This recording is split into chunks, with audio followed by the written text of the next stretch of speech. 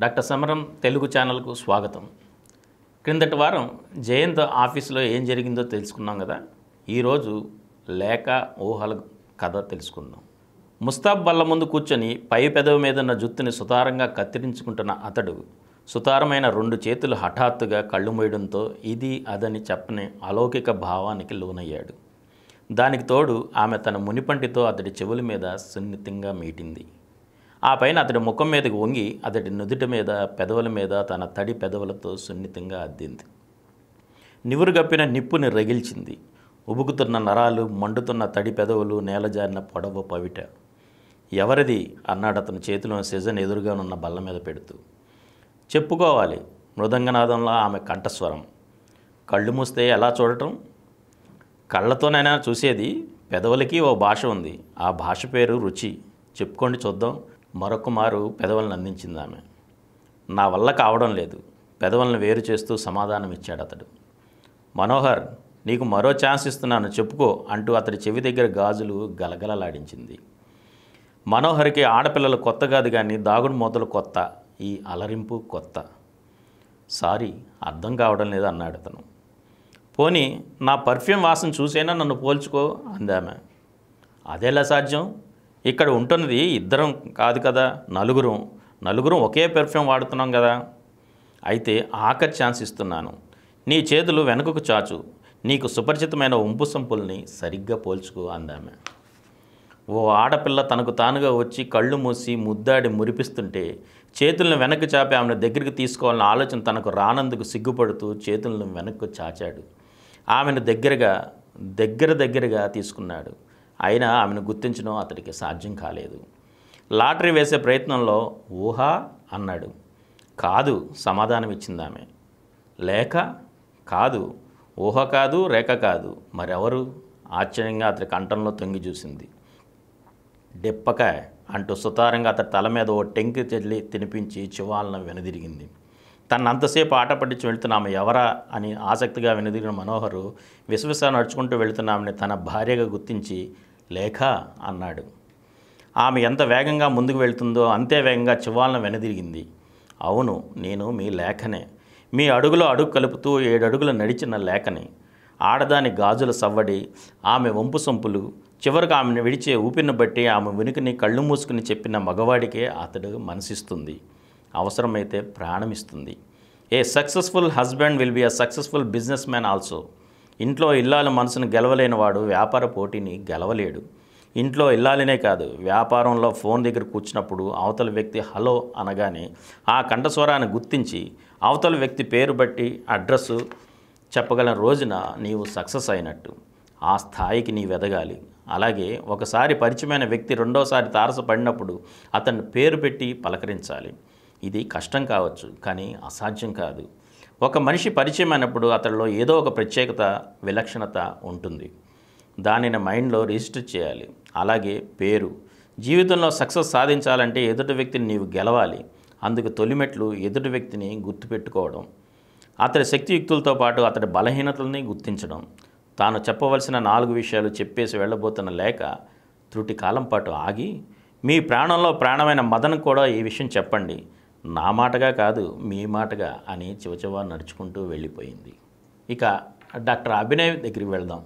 Yes next ఇంటర్కమ్తో తదుపరి patient పంపించమని రిసెప్షనిస్ట్కి చెప్పాడు డాక్టర్ అభినయ్. మూడు పదుల వయసున్న స్త్రీ ఓ పని మనిషిని వెంట పెట్టుకుని వచ్చింది.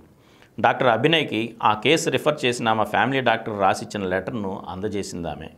వాస్తవానికి డాక్టర్ల వద్ద స్త్రీలు మాట్లాడినంత నిర్మోహమాటంగా నిర్భయంగా పురుషులు మాట్లాడరు. అయితే వారు ఆ డాక్టర్ని నమ్మాలి. స్త్రీల ప్రపంచం చాలా చిన్నది. భర్త కుటుంబ సభ్యులే ఆమెకు ముఖ్యం. కానీ పురుషుడు అలా కాదు. అతడికి ఉన్న పరిచయాలు స్నేహాలు వ్యాపకాలు స్త్రీకి ఉండవు. పురుషుడు తన కోరికలు తీర్చుకోవడానికి మార్గాలు అనేకం. కోరికలు తీర్చుకున్నా తీర్చుకోకపోయినా కనీసం స్వేచ్ఛగా నిర్మోహమాటంగా మాట్లాడే అవకాశమైనా అతడికి ఉంది. ఆ అవకాశం చాలామందికి స్త్రీలకు లేదు.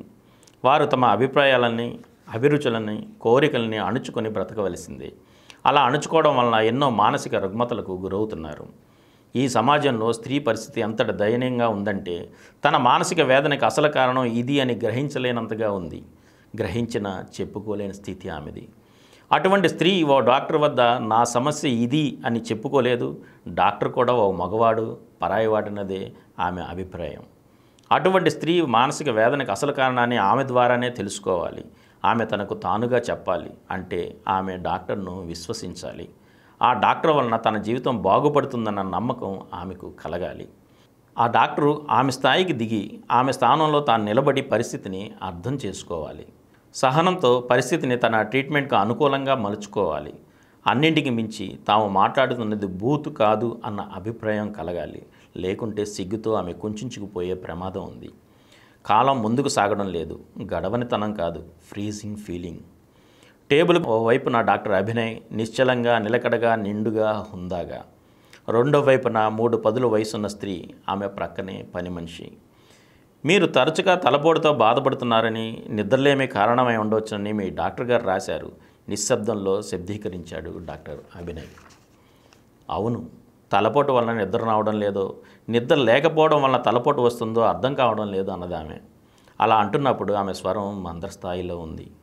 అభినయ్ ఆమె మాటలు వింటూనే ఆమెను చదవడానికి ప్రయత్నిస్తున్నాడు. నుదుట పాపిట కుంకుమ బొట్టు చీకటి ఉసుళ్ళ మధ్య చిక్కుకున్న తారకల్లా జుత్తులో చిక్కుకున్న అక్షింతలు భుజాల చుట్టూ కప్పుకున్న పవిట. ఆ మాత్రం క్లూ చాలు అసలు కారణాన్ని రాపట్టడానికి. మీరు నిత్యం పూజ చేస్తారా? చేస్తాను అన్నట్లుగా తలూపింది. రోజు గుడికి వెళ్తారా? ఆమె కుటుంబ పరిస్థితిని భార్యాభర్తల సంబంధాన్ని అర్థం చేసుకునే ప్రయత్నంగా అడిగాడు. వారానికి ఒకసారే రోజు ఇంట్లోనే అందామే. మీరు గుడికి వెళ్ళినప్పుడు గమనించండి గర్భగుడిలో అగరత్తులు ఎక్కువగా వెలిగించరు. హారతి వెలిగించిన గుమ్మం దగ్గర పెడతారు. పూజారులు కూడా ఎక్కువసేపు గర్భగుడిలో ఉండరు. అవకాశం ఉన్నప్పుడల్లా బయటకు వస్తుంటారు. ఎందుకో తెలుసా? లోపల గాలి తక్కువగా ఉన్నందున. తలార స్నానం ఉపవాసాలు నిద్రలేమి కూడా తలపోటుకి కారణం కావచ్చు. భక్తి ఎక్కువైన కొందరు గంటల తరబడి ధూప దీపాలతో చిన్న చిన్న పూజా గదుల్లో కూర్చొని పూజ చేస్తుంటారు. తలపోటుకి ఇది కూడా ఒక కారణం కావచ్చు. బ్లడ్ ప్రెషర్ ఇండైజేషన్ డిసెంట్రీ కూడా తలపోటుకి కారణం కావచ్చు. మీ ఫ్యామిలీ డాక్టర్ గారు ఈ టెస్టులన్నీ చేసే ఉంటారు.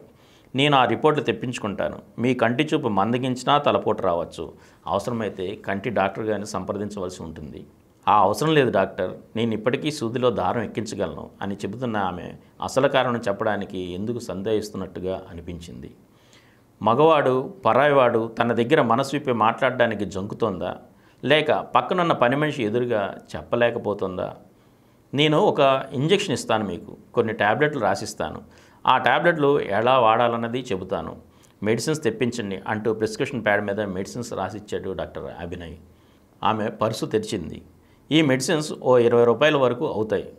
ఆమె ఇరవై రూపాయల నోటు మందుల చీటీ పక్కనున్న పని మనిషికి ఇచ్చింది. మందులు తేవడానికి పని మనిషి బయటికి వెళ్ళగానే డాక్టర్ అభినయ్ అన్నాడు. డిసెంట్రీ విజన్ బీపీ ఇవేమీ మీ ప్రాబ్లమ్స్ కావు. ఈ కారణాలైతే మీ ఫ్యామిలీ డాక్టర్ గారే డయాగ్నోస్ చేసి ఉండేవారు. ఇంతకు మించిన కారణం మరొకటి ఉండి తీరాలి. ఆ విషయాన్ని బయటపెట్టడానికి మీరు సందేహిస్తున్నారని నేను అభిప్రాయపడుతున్నాను. మీరు నిర్మోహమాటంగా నిరభ్యంతరంగా మీ సమస్యను నా ముందు ఉంచండి. మీరు సమస్యను దాచి ఏదేదో ఏదేదో కారణాలు చెబితే వాటికి మందులు ఇస్తాం. దానివల్ల మీ జీవితం బాగుపడదు. డబ్బు అనవసరంగా ఖర్చు అవుతుంది మీ జీవితాన్ని సరిదిద్దుకోవాలనే అభిప్రాయం మీకుంటే చెప్పండి. లేదు ఇలాగే ఇబ్బంది పడతాను అంటే మీ ఇష్టం. వాస్తవానికి నేను ఇప్పుడు రాసిచ్చిన మందులు బలానికి నిద్ర పట్టడానికి మాత్రమే. అప్పటికి ఆమె వంచిన తల ఎత్తలేదు మౌన ముద్ర వేడలేదు. చూడండి ఈ టేబుల్ మీద ఉన్న ఫైల్స్ ఓవైపు ఒకసారి చూడండి. ఈ ఫైల్స్ మీద నెంబర్ మినహా వ్యక్తి పేరు కూడా రాయం. అందువలన మీరు చెప్పే విషయాలేమీ మూడో వ్యక్తికి తెలిసే అవకాశమే ఉండదు. మీ జీవితాన్ని సరిదిద్దుకోవడానికి హాయిగా బ్రతకడానికి ప్రయత్నించండి. సమస్యని సమస్యగా మిగిల్చితే మనిషిని చెదలా తినేస్తుంది. అప్పుడు కానీ ఆమె వంచిన తల ఎత్తలేదు. మిగతా తర్వాత ఎపిసోడ్లో తెలుసుకుందాం. Thank you Please download Samaram multi-channel app and watch your favorite channels from your mobile. App available on Google Play Store and subscribe to the channels.